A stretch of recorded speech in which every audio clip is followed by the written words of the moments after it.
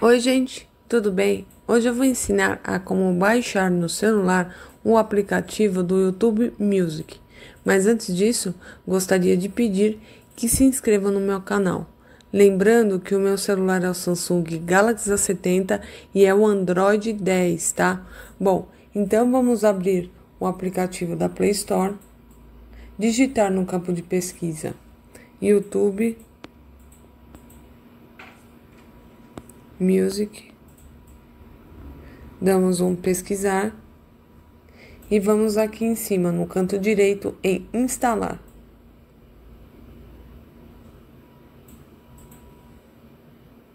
Vamos aguardar o download, fazer a instalação.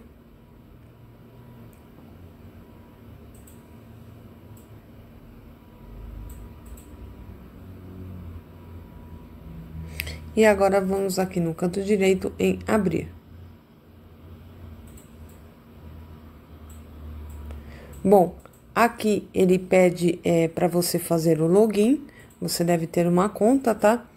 E aqui ele fala: entre no mundo da música. Faça login para ver playlists, álbuns e artistas e fazer streaming desse conteúdo no YouTube Music.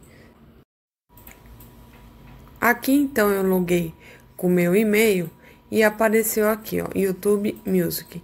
Então você tem um plano básico e o plano é, Music Premium, que você é, faz avaliação gratuita por um mês e após isso paga R$16,90.